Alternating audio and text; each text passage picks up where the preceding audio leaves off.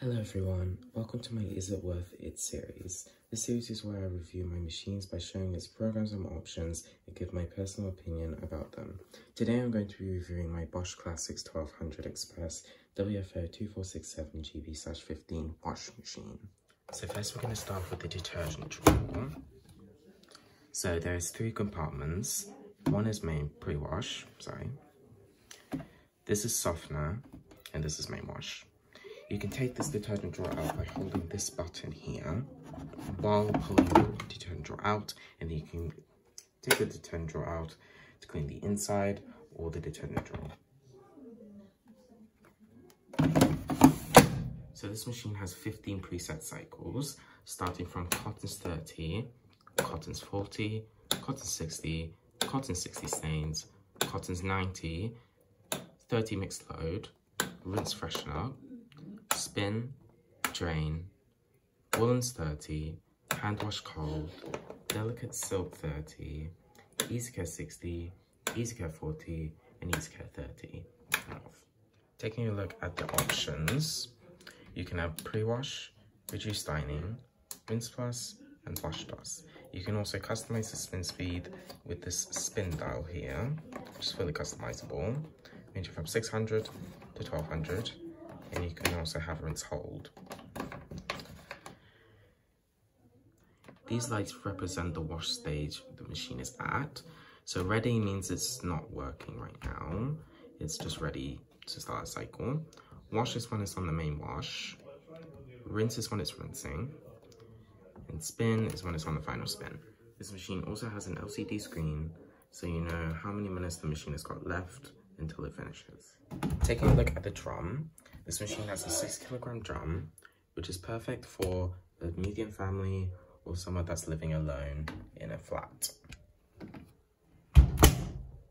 At the bottom of the machine, we have this filter here.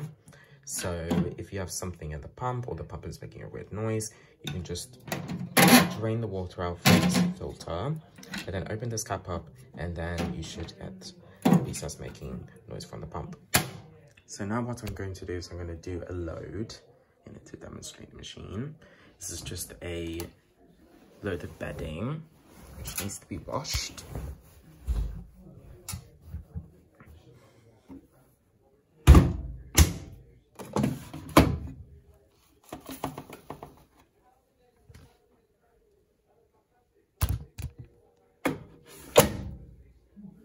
So I'm going to select cotton 60 it's plus, and we will now start the cycle.